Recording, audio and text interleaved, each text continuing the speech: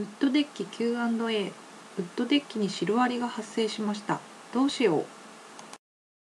一級建築士のよっちゃんです。社長の刈谷です。二人で疑問にお答えします。ウッドデッキのシロアリ被害で部分的に修理ができるか質問がありますが無理なんですよね。はい、まあこのようにあのシロアリがいっぱい出てきちゃってるお宅の場合は、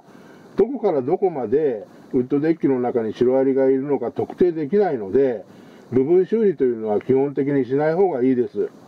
あの万が一部分修理して、えー残っていた場合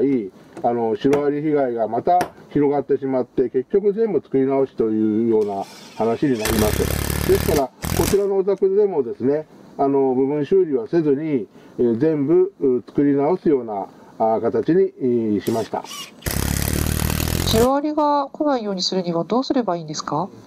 あの一般的にはあの木材保護材というこの浸透型の塗料が売られてますのでそれを45年おきに塗ることです。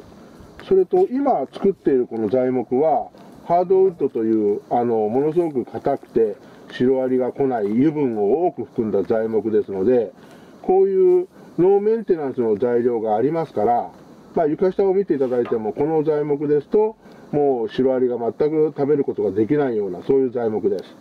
であのこのバラが絡んでいるようなこういうところもシロアリがものすごく好む絶好のシロアリが発生する条件なんですね。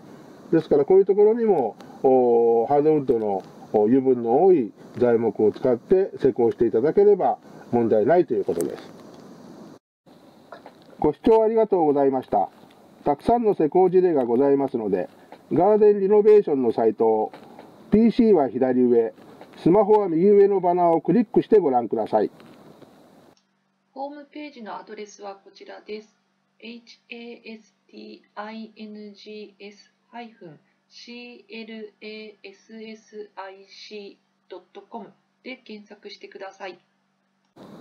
フリーダイヤル0120-041-301お電話お待ちしております